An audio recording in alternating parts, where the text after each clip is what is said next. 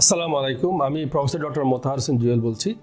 যে আরোপি হচ্ছে আসলে আমাদের যে কথা বলছিলাম, যে অন্ধত্বের অনেকগুলি কারণের মধ্যে হচ্ছে একটি, যে যখন কোনো প্রিমিউচার বেবি হয়, তাকে যখন এনএসিতে নেওয়া হয়, নেওয়ার পরে তাদেরকে অক্সিজেন দেওয়া হয়। এবং সাধারণত দেখা যায় যে আমাদের চোখের যে রেটিনার যে ব্লাড ভেসেল আছে, যখনই প্রেগনেন্সি অবস্থা চার মাস থেকে, বাচ্চা চার মাস থেকে সাধারণত এগুলি তৈরি হওয়া শুরু হয়। এবং যখন নয় মাসের কাছাকাছি হয়, তখন এই ব্লাড ভেসেলগুলি পূর্ণতা লাভ করে।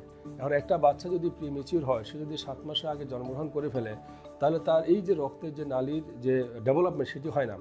না হওয়ার কারণে দেখা যায় যে তার যে রক্তের নালী আছে, সেই নালীটি সেখানে কিছু ধরনের চেঞ্জ হয়। চেঞ্জ হওয়ার কারণে নতুন ব্লাড ভেসেল তৈরি হয় এবং আস্তে আস্তে দেখা যায় যে বাচ্চার চোখটা সাদা হয়ে যায় এবং সে দেখে না। এক্ষেত্রে যখনই যদি কোনো আরোপি কোনো বাচ্চা যদি এনআইসিউতে থাকে প্রিমেচুর বেবি হয়, তাকে অবশ্যই আঠাশ দিনের মধ্যে আমাদের চোখটা দেখতে হয়।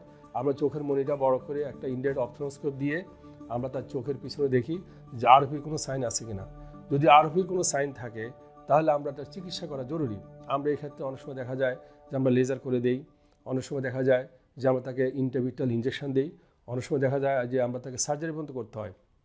সেক্ষেত্রে যদি অবশ্যই আরোপি কোনো প্রিমিচার বেবি হয়, তাকে আরোপি স্ক্রিনিং করতে হবে, করার পর যদি চিকিৎসা করা যায়, তাহলে তার দৃষ্টিটা অক্ষুণ্ণ থাকে। আর যদি কালবিলম্ব করা হয়, তাহলে দেখা যায় যে তার চোখটা আস্তে আস্তে নষ্ট হয়ে যায়। পরবর্তীতে আমরা চিকিৎসা করলে সেটা দেখা যায় না। ধন্যবাদ দর্শককে। আমরা চোখের বাচ্চাদের চোখ কিংবা চোখের বিভিন্ন রোগ নিয়ে আবারও আপনাদের সামনে আমরা হাজির হব। ধন্যবাদ দর্শককে।